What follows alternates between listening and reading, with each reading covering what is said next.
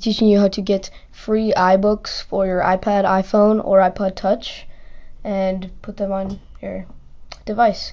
So the first thing you need to do is open up your web browser. And there's two main websites where you can get these free books. One of them is ePubBud and the other one is ePubBooks. So the first one we're going to go to is ePubBud. And I haven't downloaded a ton of books yet on this website, but right there it says free children's books. Well, I'm guessing it's pretty much just children's books mainly. There's also uh, young adult, youth, teen books also. So I'm going to search a book that I have read The Hunger Games. So just search it up on the search bar. And then up here, three results come in. This is the first one, Hunger Games, second one, and the third one. So just click on the book you want and then this should come up. Now you can also read it, but I wouldn't do that on the computer because you're obviously getting it for your iDevice. So just hit download ebook right here.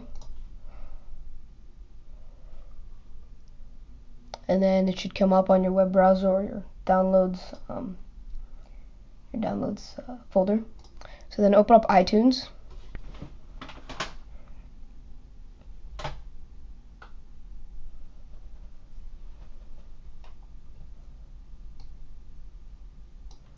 Okay, so now that we have op opened up iTunes, you're going to go to the books column on iTunes.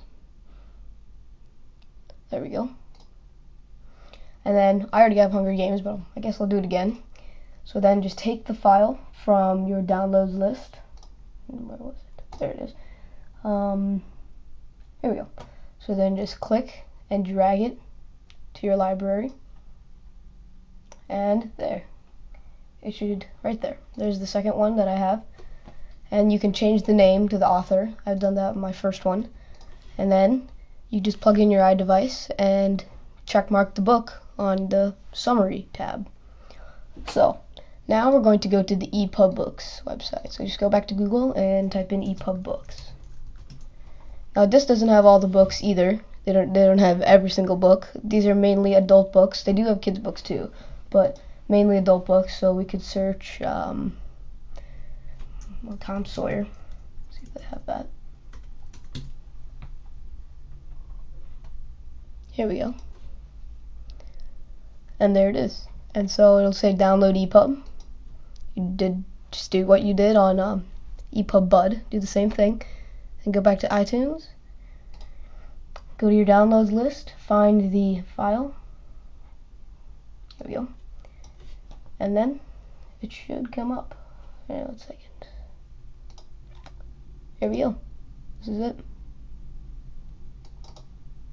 So, and you do the same thing, just drag it to your, not drag, oh, yes, you can drag it to your iDevice or go to the, uh, click on your iDevice, then go to the summary and go to books on those tabs and just check mark the book and it'll sync it. And all these books should be the full length.